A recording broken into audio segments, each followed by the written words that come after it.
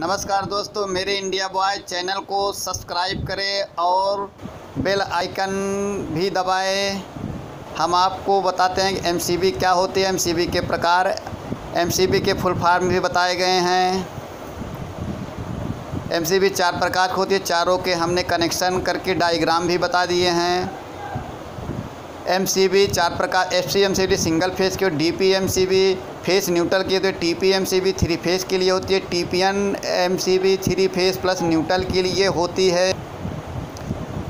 दो एम्पियर से एक सौ बीस एम्पियर की एम सी बी बनाई जाती है, लेकिन प्रायः हम लोग तिरसठ एम्पियर तक ही एम सी बी यूज़ करते हैं। सौ एम्पियर, एक सौ बीस एम्पियर, ये ज़्यादातर यू पी एस में यूज़ की जाती है।